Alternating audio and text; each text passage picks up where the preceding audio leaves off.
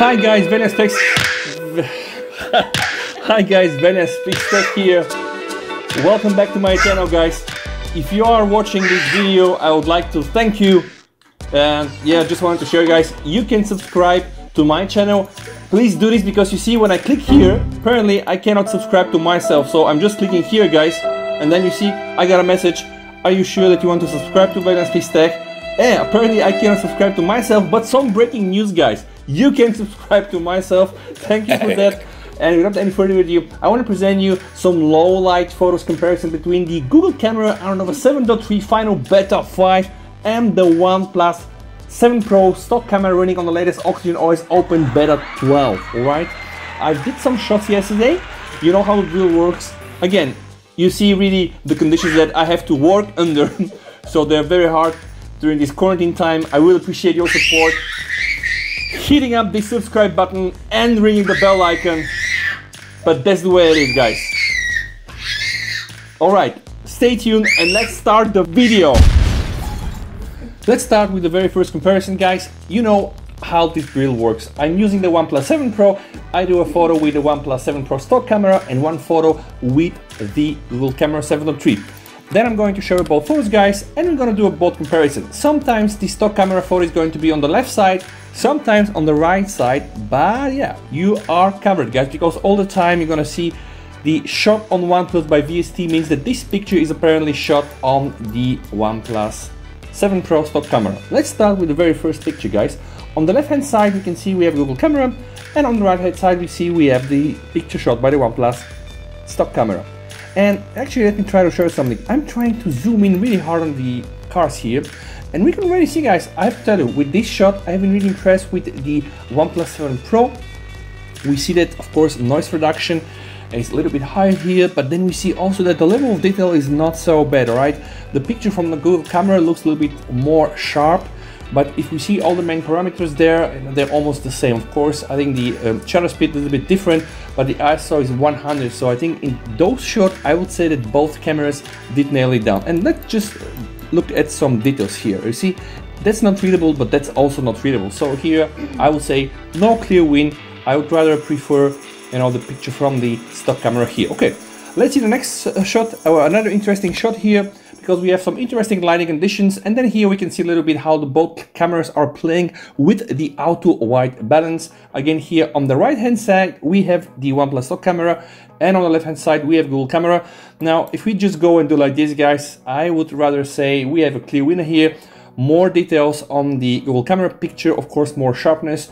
Uh, shutter speed almost the same we have the same aperture Something interesting here, we have twice the ISO compared to the picture we have on uh, the Google camera, but overall I think here we have a clear winner. You see all the details here, they're really more and they're really better. You see even this cable, if you are just looking at a very zoomed, let's say crop, mm, you rather not notice that here we have a a cable, but rather on the Google camera picture, you see that's quite noticeable. All right, again, both pictures are not so bad. I think also that Google camera did better job here exposing uh, the sky, so the details really are a little bit better. So here, I think a clear winner is the Google camera picture. All right, let's go with the next one. A very interesting shot. Let me tell you why. Now, let me first unzoom it so you see this shot is made under some very hard conditions. Okay, we have some dark areas here, which is kind of the trees, and then we have a sunset, so it's not a difficult shot. And actually this was one of the shots that kind of impressed me with the stock camera. And again, it's clear that the Google camera, you know, has some advantages, specifically here in the lower light areas and the exposure. But given the fact that almost the same settings are used in terms of ISO, in terms of aperture, shutter speed of course a little bit different but uh, nevertheless you know it's i'm just really impressed by the stock camera and i think that really they improved and upped their game and let's try to see here some of the clouds guys all right better job of course here here you know it is too bright I think highlights a little bit not so good not so well dynamic range also not so good as the Google camera but overall I think here of course Google camera winning overall though still a very nice picture created by the stock camera right let's go for the next shot Next shot we have a mall. Right, this one is interesting because we can compare details. If we unzoom it guys, on the right we have the OnePlus 7 Pro stock and then here we can see auto white balance a little bit more on the cold side. But okay, that's understandable and those are all the details. But let's try to zoom here guys, alright? So you see here reserved, clearly more sharpness on the Google camera picture, but this doesn't really mean necessarily more detail, right? Some might argue with me, but okay, if we need to zoom further now, we can see here we're almost able to read what they say, and here not so much.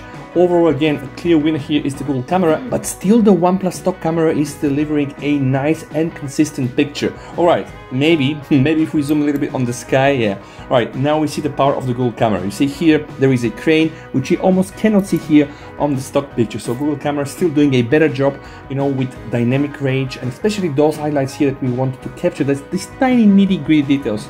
If we're doing pixel peeping, then of course Google camera is always better. But you know, this stock camera from the OnePlus 7 Pro should be really sufficient for a person that just want to post images, you know, on social and just like yeah, shoot like a normal person. Okay. Next few images again, I think same area, so let's just try to go for the full crop first. Okay, on the right hand side, stock camera, almost the same, you know, 100% crop. Now, if you want to try to zoom the details, we can see again here, focus is a little bit better, I have the feeling. Here, details are kind of lost. So I think this here is a clear winner again through the Google camera. But of course, this should not surprise anybody, right? Also, just look at the clouds here. You know, on the stock camera, it's kind of like a Monet drawing. Here, I think you can still see that there are clouds. You can still see that we have here the sky. You can quite separate these two. And here, I think not so much. All right. The next one to go, again, I think a very hard shot given the fact that, you know, it requires a lot of dynamic range and yeah, I think here it's clear. So here we have the stock camera on the left side and we have the Google camera on the right side. Uh, let's just take and compare here the warehouse. So you just see the level of detail, see all the highlights and the shadows. Still not a very bad job done by the OnePlus stock camera. But if you just see here, guys, the results, I think here we have a clear winner. And again, it's the same shot that we saw last time of course from a different angles even here guys you see you're able to understand what is almost what they write here here not so much so exposure dynamic wise better better of course Google camera Okay, now it's getting interesting, guys. And again, those are the photos that are taken into a low light condition, and you're gonna it's gonna get better. This one was an interesting shot that I took because here I had the feeling that the shot on the OnePlus camera was better compared to the one on the Google camera. I'm not sure why this happened. Here we can see that the sky is kind of like overblown compared to the OnePlus stock camera where it is almost, you know, not the same, but it is definitely better, you know, almost noticeable difference here. So overall, I would say that here, you know, although the details, if you just see the pavement, still, you know, Google camera is able to capture more details, kind of like more sharpness applied, but still overall, I like this picture better. You know, it just is more real. Here, see, almost you cannot separate the clouds from the sky. Okay, so more to go. And uh, just have in mind, guys, the more I show you these pictures, the darker actually, uh, you know, it's getting outside. So here again, we have this typical scenario where we have uh, some dynamic range involved with the sun setting. And again I mean it's really clear especially in those very harsh scenarios the Google camera always is able to provide a more consistent exposure higher level of dynamic range. And you see uh, even details. So you see here you're almost not able to see the branches and the clouds. And here you can really differentiate okay this here are branches this here is the cloud and these are the sky. Although although honestly again the OnePlus stock camera is not giving guys a bad picture right? So this is very important to notice all right, and now I think we're getting, we're slowly getting into the more interesting part. Again, that's a very hard shot. And you can see here, I would say almost one to one. Of course, zooming in, zooming in, we just see, you know, more sharpness on the Google camera. Of course, I'm using here the uh, SixArmedPriest XML. Of course, this is already a lot of fine tuning involved here, just stock and auto HDR whatsoever. But then still, you know, still the OnePlus camera here gave, I think, a nice outlook to all the clouds. So I would rather go for the picture on the right side here even though the detail on the building is better on the Google camera. Just see all the lights here, you know, you can clearly separate the, the, the distinctive lights and here it's a little bit harder to do so, right? Now again, I promise you, like the interesting stuff, just take a look on that picture, all right? So OnePlus on the left side, Google camera on the right side, and actually let's try to zoom in here and just see all the details, guys. And this is where I'm telling you that for me, the one Plus, stock camera is doing a very, very good job. Again, it's not 100% comparable to the Google camera in terms of quality, but it's still very consistent and very nice. Detail levels, captured very fine you can see here.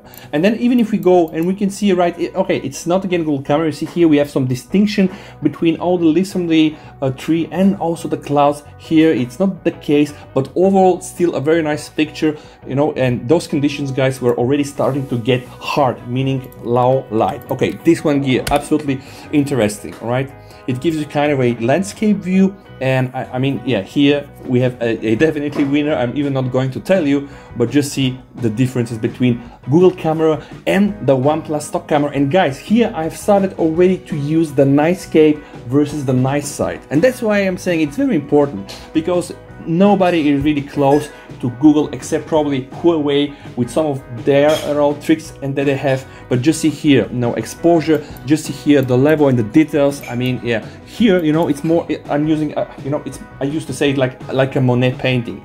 You see here is you cannot distinguish what it is here, although we know with this high crop, still you're able to separate, you know, uh, the, the details. And again, if we just try to zoom on the building here, just look at the details, guys. All right. So you see what I mean here. Let's try to zoom the shot. See here, guys, again, if you just look at this like a normal picture, maybe you say they're almost the same. But if you start to look on the details, just see the grass here.